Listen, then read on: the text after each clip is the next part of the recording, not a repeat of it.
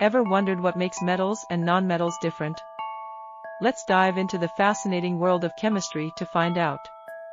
Metals, like gold and silver, are shiny and conduct heat and electricity well. Nonmetals, such as sulfur and oxygen, are dull and poor conductors of electricity. Let's compare their reactions with other elements. In chemical reactions, metals tend to lose electrons, while nonmetals tend to gain them. For example, when sodium metal reacts with chlorine gas, a non-metal, sodium loses its electron to form a sodium ion while chlorine gains an electron to form a chloride ion. The end product is sodium chloride, a salt.